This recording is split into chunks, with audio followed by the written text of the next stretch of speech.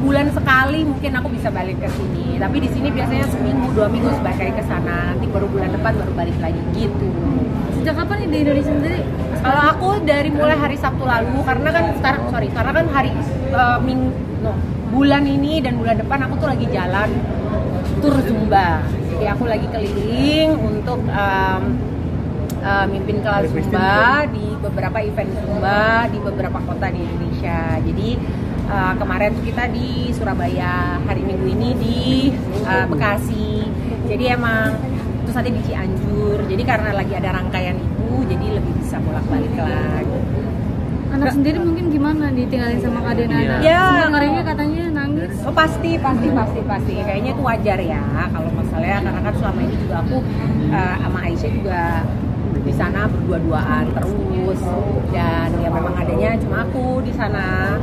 Jadi uh, maksudnya orang tuanya dia cuma aku di sana gitu. Jadinya of course pasti tentunya dia pasti nangis kalau aku tinggal-tinggal gitu. Dan kemarin biasanya tuh sampai benar-benar aku mau jalan biasanya aku memilih pada saat dia masih sekolah pada saat dia lagi sekolah aku memilih hari di saat dia sekolah. Jadi istilahnya itu dia terdistract gitu nggak terlalu uh, fokus banget menyadari bahwa aku tuh mau pergi ke Indonesia gitu. Tapi kali ini kebetulan dia lagi libur sekolah. Jadi kemarin pas aku pulang dia dalam keadaan di rumah. Dan dia yang dada-dada sama aku. Biasanya aku yang nganterin dia dulu sekolah.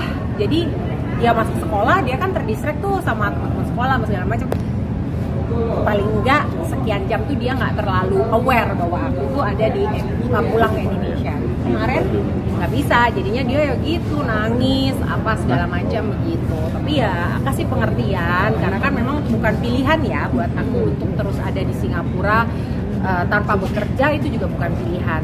Dan aku sebenarnya di satu sisi pasti ada rasa sedih karena aku nggak kepingin dia itu jadi gini aku berusaha untuk memberikan penjelasan kepada dia. Penjelasan bahwa oke okay, uh, ibu sebagai orang dewasa sebagai orang tua harus bekerja harus mencari nafkah. Itu adalah tanggung jawab dan dan dan tugasnya orang tua gitu.